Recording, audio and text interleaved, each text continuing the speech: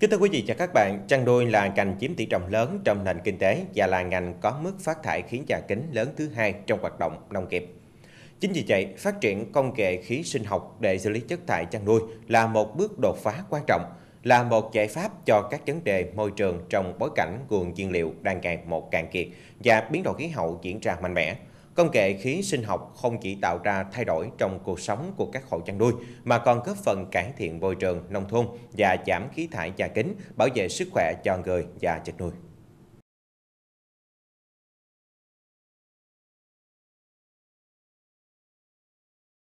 Tính đến tháng 7 năm 2022, Trà Vinh có khoảng 136.000 hộ chăn nuôi với tổng đàn gần 540.000 gia súc, 7,2 triệu gia cầm, sự phát triển các trang trại chăn nuôi quy mô tập trung đã thúc đẩy nền kinh tế phát triển, nhưng đồng thời cũng đem lại những tác động xấu đến môi trường. Chất thải chăn nuôi không được xử lý sẽ làm ô nhiễm nguồn nước, đất không khí, tạo ra các khí nhà kính như CO2, CH4 là nguyên nhân gây biến đổi khí hậu. Thời điểm hiện tại, lượng chất thải từ chăn nuôi trong toàn tỉnh khoảng 1,5 đến 2 triệu tấn một năm và được xử lý bằng các hình thức như sản xuất thành phân hữu cơ, bón cho cây trồng, thực hiện mô hình vườn ao chuồng để vừa xử lý chất thải ra môi trường, vừa tận dụng được tiềm năng kinh tế của tất cả các cá thể. Đặc biệt, một trong những giải pháp tối ưu nhất là áp dụng công nghệ khí sinh học hay còn gọi là bioga để xử lý chất thải chăn nuôi nhằm tạo nguồn năng lượng sạch, cải thiện chất lượng môi trường và giảm phát thải khí nhà kính. Mình có hầm ga là nó, nó vấn đề là nó nó sạch sẽ cho gia đình mình mà mình đỡ được tốn cái tiền ga nữa. Như nhà mình mỗi năm mà như vậy á tiền ga như vậy là phải tốn 3 tháng ít nhất cũng phải cả triệu bạc nhà mình xài dữ lắm. Mà khi mà có bioga tới giờ nhà mình không có tốn cái tiền đó mà lại là xung quanh nhà nó sạch sẽ nó không có bay mùi thối mà với lân cận cái nhà kế bên. Cỡ mười mấy năm về trước á là tôi có xây làm một cái hầm bioga nhưng mà đó là cái chất liệu của nó là, là cái composite thì chưa có. Nó rồi đó là tôi xây bằng gạch thẻ. Thì sau khi sử dụng được là mười mấy năm nó thì hiện tại bây giờ nó đã bị hư nhưng mà bây giờ là nó có cái cái công nghệ mới là cái composite nó thành ra bây giờ tôi lắp đặt lại là cho nó vừa nó nó nhẹ, nó không có tốn công xây, mà lại là nó gọn, nhanh.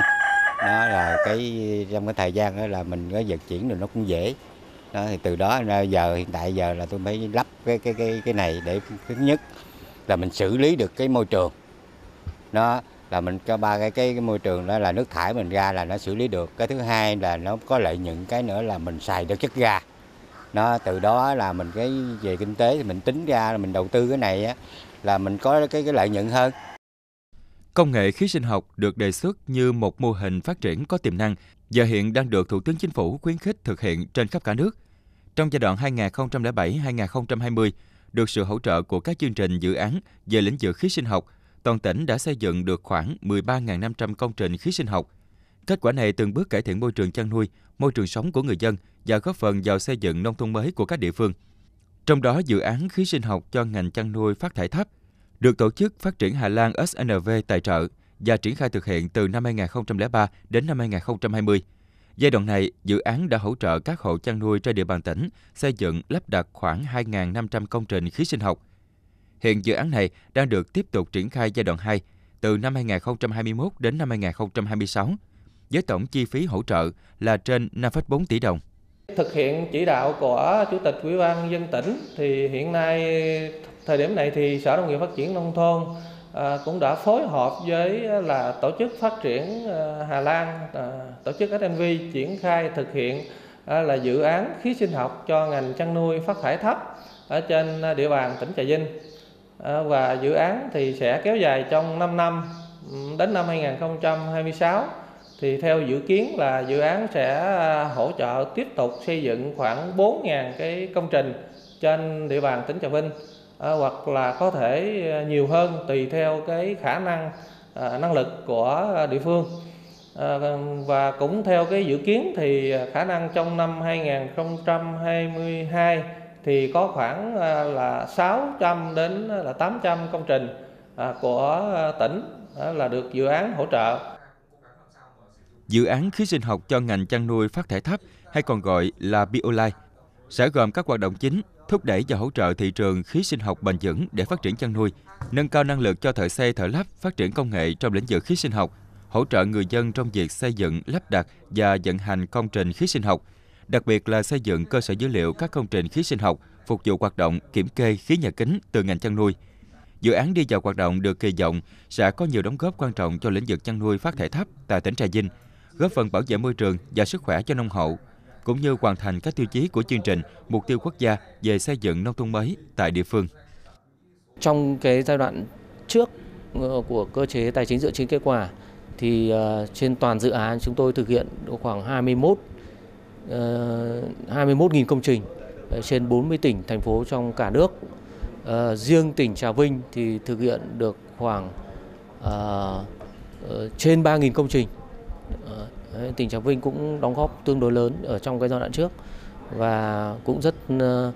uh, đến thời điểm hiện nay thì các công trình đó vẫn còn đang hoạt động và phát huy hiệu quả. Uh, đem lại lợi ích thiết thực cho người chăn nuôi. Với sự phát triển của nền kinh tế, ngành chăn nuôi ở Trà Vinh có những bước tiến bộ vượt bậc trong những năm qua, đặc biệt là nuôi tôm công nghệ cao. Trong quá trình nuôi tôm công nghệ cao thì vấn đề xử lý chất thải vô cùng quan trọng. Chưa kể đến tác động xấu đến môi trường, nếu chất thải không được xử lý hiệu quả, chúng sẽ ảnh hưởng trực tiếp đến sức khỏe con tôm, gây thiệt hại cho người nuôi lẫn chất lượng tôm cung ứng ra thị trường.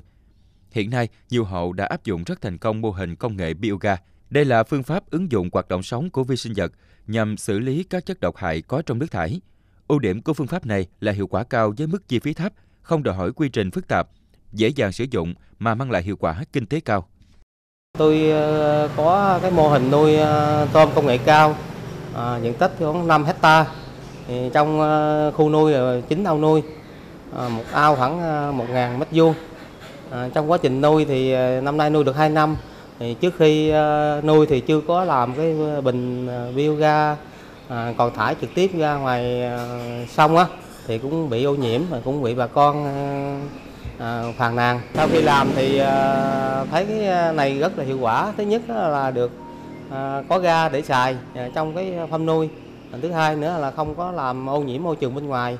Sau khi thải ra thì hồi trước thì bị bà con nó cũng hơi phàn nàn sau mình làm cái bình này thì ờ, bà con ờ, rất là phấn khởi cũng như là không có thải trực tiếp mà cái ờ, chất thải của tôm ra ngoài môi trường được lọc lại rồi qua cái bình hưu ga xử lý thì cho nên cái môi trường ở ngoài rất là sạch và cũng rất là ổn định. Bioga hay còn gọi là khí sinh học được sinh ra từ quá trình phân quỷ, kỵ khí của phân động vật và những hợp chất hữu cơ lên men dưới tác động của vi sinh vật. Lượng bioga sinh ra phụ thuộc quá trình phân quỷ sinh học, loại phân tỷ lệ phối trộn với nước và nhiệt độ môi trường. Việc đầu tư làm hầm bioga không chỉ giúp xử lý tốt môi trường mà còn mang lại nhiều lợi ích tuần hoàn như tạo ra nguồn năng lượng sạch phục vụ sinh hoạt và sản xuất.